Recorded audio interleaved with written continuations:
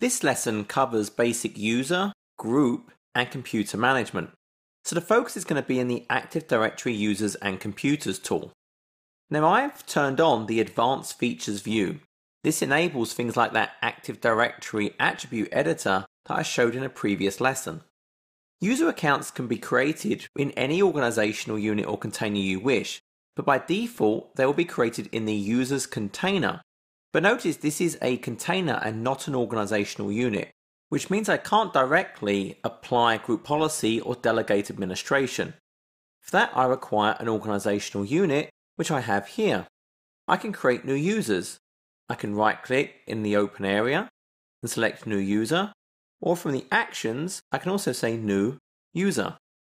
I enter in key attributes such as the name, a password, and I can configure should the password be changed at the first logon. I can say the user can't change it if it never expires, and maybe I initially create the account as disabled. And that's now created a basic user. But there are many, many other options I can complete. For example, description, office, telephone numbers, address information, profile. I can specify a profile path. So, for example, when they log on to a machine, they get the same profile each time. This is known as roaming profiles. Typically, you will set this as a subfolder of their home folder. I could specify a particular logon script, but normally we'll use group policy for this. And lots and lots of other options available to me. Notice this is one of the options around read-only domain controllers so I can see if this particular password has been cached on a particular read-only DC. That read-only DC was then compromised, it could be reset very easily. Now while I can set all these attributes manually, a normal option that you'll want to use is to create a template user account, populate many of the fields, and then just copy that account. When you copy an account, it will still prompt you for some of those key attributes which have to be different it will generate a new SID, a new GUID for the account, but all those other fields will be pre-populated for you. I can also modify multiple users at the same time. Now not every attribute will be available, but the ones that can be populated en masse will then be available in this special dialog box. So it makes it easy to update multiple users through the graphical interface.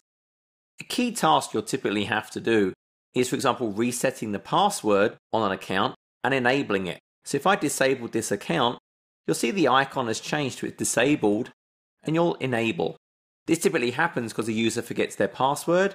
They try a certain number of times based on your account lockout value in your group policy, then the account is automatically disabled to prevent someone hacking that account. You would right click and enable that account. There are a number of built in accounts in Active Directory. For example, we have an administrator account we have a guest account that is disabled by default. And then we create our user service accounts. We also have groups. And once again, there are a number of built-in groups in Active Directory. For example, we have domain administrators. We have groups such as backup administrators. Now these are found in built-in. So a backup operator is someone who can, for example, perform backups on a server. They can log in, they can back up the data, they can't do other administrative functions. There are people who can manage printers. And these are not just domain controllers, this is any server. So if I need someone to be able to back up all of the servers in my environment, I would add them to the backup operators group on each server. To create groups, I use that same type of action, that new group. We previously covered this under the file system area. So I can create global groups, which can only have members from the local domain, but can be used anywhere in any domain that trusts this one, so anywhere in the forest. I can create domain local groups. So this is only visible in the local domain but can contain objects from anywhere. And then those universal groups that can be visible anywhere and contain objects from anywhere. If I want to apply security, I create the group of type security. This can be used as part of access control entries in access control lists. The other option is distribution. Suppose, for example, I have an email system and I wish to be able to email a particular group. Well, I can make it a distribution group which then can be the target of emails but cannot be used for security purposes. There is a model on how we should use groups. To simplify management and to avoid challenges with objects being deleted in other domains, typically the goal is we will have users. Those users will be placed into global groups. So remember, only users from that domain can be placed into that global group. So it's local users from that domain placed into a local global group for that domain. In a domain that contains the resource that I wish to give it access to, I would create a domain local group, and into that domain local group, I would place the global groups from each of the separate domains. That domain local group in the domain that's local to the resource is then given access to the resource. This enables each maybe domain administrator to manage who is a member of that global group, and then the group that has management of the domain that has the resource can control the global group's access and membership. When we think about the various groups available to us, it's often common that we see many, many people a member of the domain admins group. The reality is your domain admins group should only be the key people who are trusted in your environment and require those domain administrator credentials Often people don't need to be domain admins, they actually just need to be delegated authority over a certain organizational unit. You should protect this very, very strongly. Anyone who's a domain admin can really do anything they want. Then we have enterprise admins. This should be an even smaller group. And again, should only be the most trusted people in the organization who have to manage all of the domain sort of membership and trees and forests within your organization.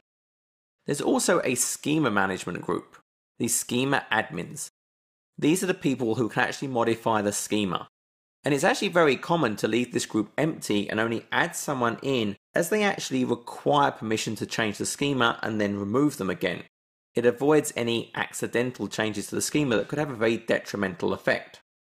Take some time to look around your environment. Take a time to look at built in, for example, and look up what these various groups do. The description is actually very useful and will give you some ideas on what groups you may need to add users in to actually perform the various functions.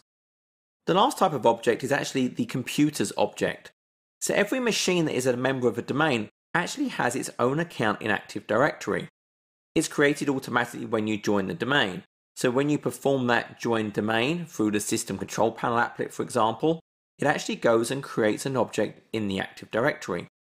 Now by default, your computers will be added to the computers container and users added to users.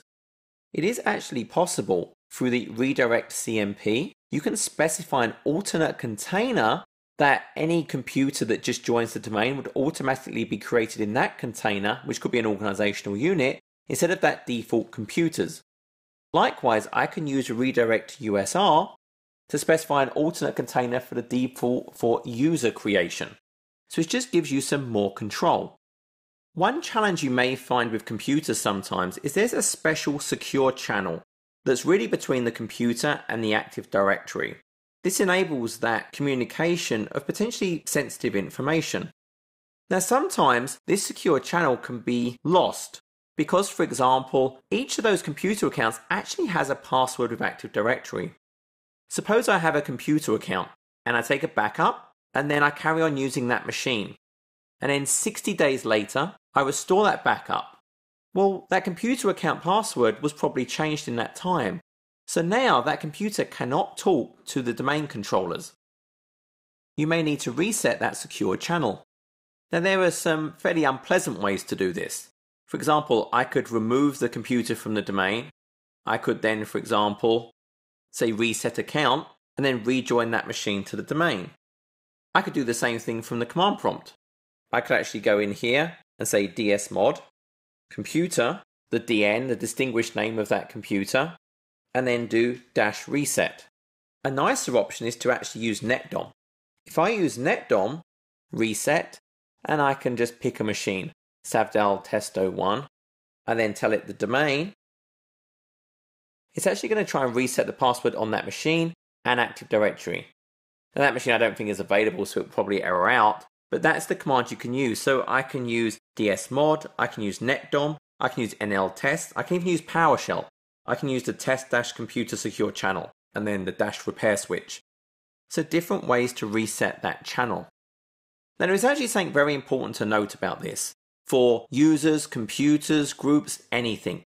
All of these objects have their own security identifier, their own globally unique identifier, a GUID. If I deleted an object and then create a new object, even if it's the same name, that is not the same object. Even if I've given it the same name, it's completely new in the eyes of Active Directory. any permissions it had, any settings would be lost. If you delete an object accidentally, then you need to restore that object, either from a backup, or if you're running Windows Server 2008 R2 and above, and you can set the forest mode to 2008 R2, you can enable the recycle bin, which is described in this article. Essentially, you have to make sure the forest mode is 2008 R2, then you just enable this feature, recycle bin. Once you've done that, you can use PowerShell to restore the object, or as I talked about previously, I can actually use the Active Directory Administrative Center. So for example, if I go into the Justice League and I delete Oliver Queen, I can then navigate to that deleted objects. I can search for the user and I can just say restore. So that's performed an undelete because when you delete an object, it doesn't actually get deleted. If you just deleted the object straight away, the multi-master replication of Active Directory would just recreate it. Other domain controllers may see it's missing and create the object. So it's something called tombstoned. It's marked as deleted, so we can bring that object back. The great thing with the Active Directory Administrative Center, it's also showing me the PowerShell it used to both remove and restore that object. So it's a great way to learn what the PowerShell would be to automate functions. There is another way to join machines to the Active Directory domain. So one of the great utilities we have is something called djoin. So typically when I join a machine to the domain, I have to reboot that machine. Djoin allows me to pre-provision a machine. So I can say provision into a domain. I can say the name of that machine. So I'm going to say sav pre prov. And I can specify a file. So now creating a file that contains the metadata to join this machine to the domain. So this is a virtual machine. I could actually mount the VHD, maybe it's a brand new template I'm deploying. I would mount that VHD and then I can inject this text file into that virtual machine. So when that machine starts up, it's now pre-joint to the domain. There's no reboot required. So this is a great way to automate the joining of a domain without requiring those reboots, basically doing an offline domain join. This concludes the lesson on managing users, groups, and computers.